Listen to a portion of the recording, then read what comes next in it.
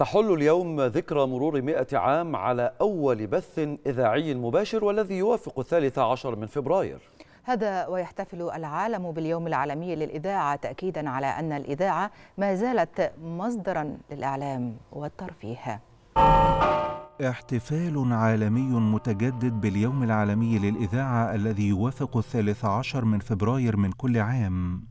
احتفال هذا العام يأتي تزامنا مع مرور مئة عام على أول بث إذاعي مباشر عبر الأثير ويأتي تأكيدا على أن الإذاعة ما زالت مصدرا للإعلام والترفيه من الصف الأول رغم التأثير المتزايد للإنترنت ومواقع التواصل الاجتماعي. التقديرات تشير إلى أن عدد مستمعي الإذاعة تخطى أربعة مليارات شخص.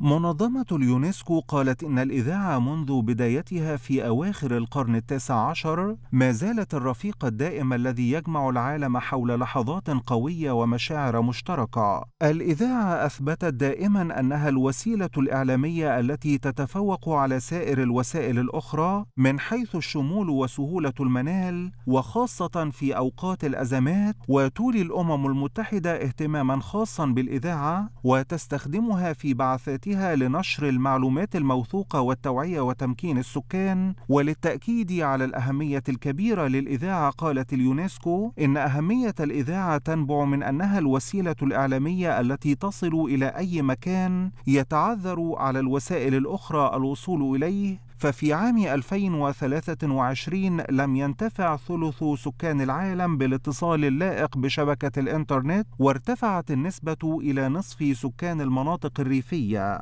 وتظل الإذاعة محافظة على بريقها وسط الوسائل والوسائط الإعلامية المختلفة ومصدرا موثوقا للمعلومة والخبر.